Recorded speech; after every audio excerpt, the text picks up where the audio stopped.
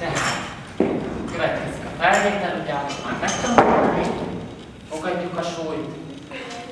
A súly a vállunkon van, és nem az ujjunkkal fogjuk, hanem a tenyerünkkel.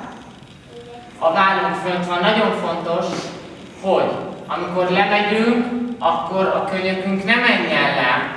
A könyök marad fönn, a fej előre néz, a lemenetelnél nem így megyünk le, hanem marad a tekintetünk egyenesen, fönt a könnyék, sarokra megyünk le, és kilökjük. És az első lábbal állunk vissza, és utána a hátsóval.